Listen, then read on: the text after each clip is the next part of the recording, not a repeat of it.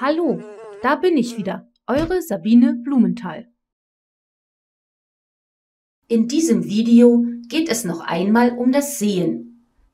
Ganz speziell erfährst du etwas über die Leistungen von Auge und Gehirn beim scharfen Sehen naher oder entfernter Objekte sowie beim räumlichen Sehen.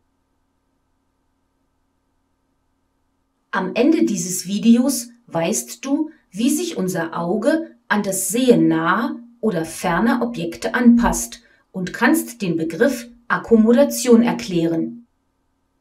Außerdem weißt du, wie genau das räumliche Sehen funktioniert.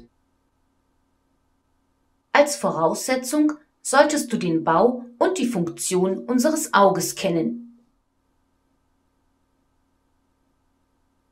Unser Auge ist schon ein erstaunliches optisches Gerät, egal ob ein betrachtetes Objekt weit entfernt oder nah dran ist, wir können es mit gesunden Augen scharf sehen.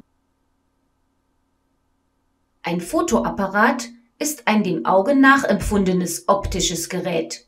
Vergleichen Den kompletten Film und viele weitere findest du auf www.sofatutor.com. Über 7000 Lernvideos erklären dir, was du für gute Noten wissen musst. Tests überprüfen dein Wissen nach jedem Video. Echte Lehrer helfen dir im täglichen Live-Chat sofort bei deinem Problem.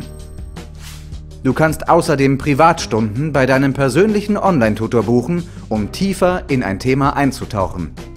So helfen wir dir, deine Zensuren ohne großen Aufwand zu verbessern. Probiere es am besten sofort aus auf www.sofatutor.com.